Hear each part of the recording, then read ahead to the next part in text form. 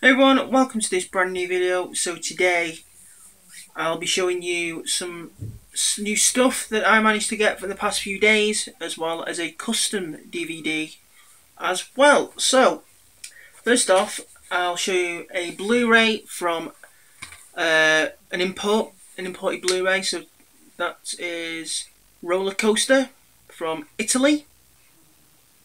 I have heard now uh, someone on Facebook said that Roller Coaster, the 1977 film movie, is going to be getting a Blu-ray release over here in the UK next March 2018.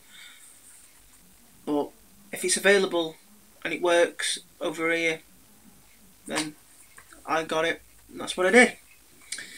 Next is a DVD box set Lois and Clark, The New Adventures of Superman. Now, th this box is awful.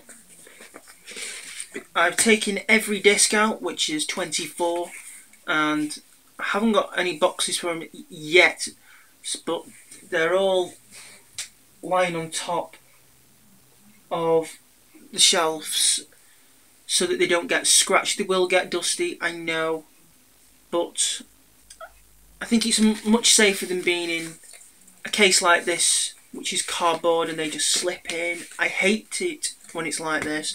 The Simpsons seasons 11 to 17 were all like this.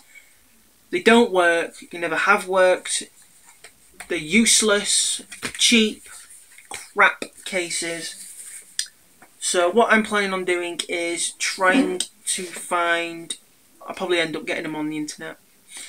Um, six disc cases. I need four of them, with there being four seasons. And what I'll do is I'll put all the discs in them cases and then put, I think only three cases will fit in this box, so season four will have to go out. It doesn't matter. So that's Lois and Clark. Now today's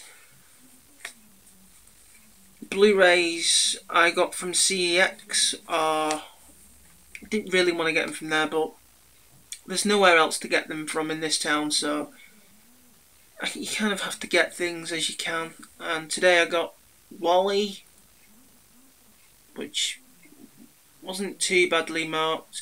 Did have a few finger marks on it, but they've all been cleaned. And Pinocchio. This is a three disc set, contains two Blu-rays and a the DVD of the movie as well,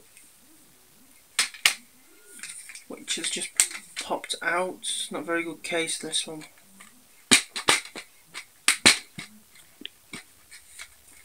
So you have the DVD and then the two Blu-rays. The DVD was unbelievably marked, scratched. So took it back, had it buffed. Now it looks pretty good. And the Blu-ray disc one was also marked as well. And I was told that they don't, you shouldn't put a Blu-ray disc in a buffing machine because they damage them. But uh, bollocks, really. And lastly, my custom DVDs. I'm going to get another case. These are the only ones I've got at the moment. It's Absolute Genius with Dick and Dom, the complete first season. So I'm going to get another case, as I said.